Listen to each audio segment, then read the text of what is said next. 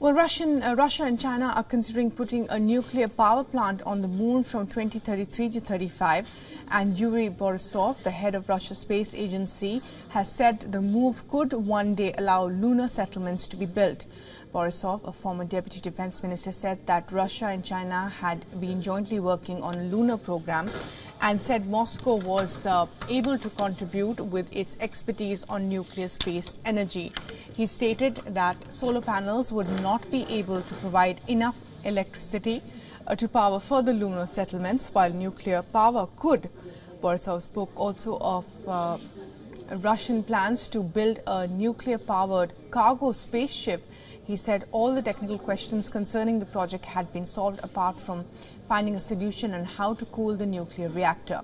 Russian officials have spoken before the ambitious plans to one day uh, mine on the moon. However, the Russian space program has suffered a series of setbacks in recent years. Its uh, first moon mission in 47 years failed last year after Russia's Luna 25 spacecraft spun out of control and crashed.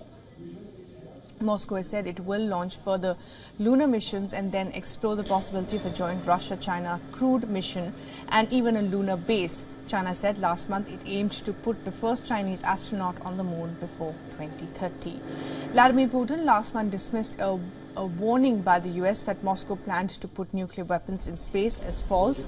The Russian president said it was a ploy to draw Russia into arms negotiations on America's and its allies' terms.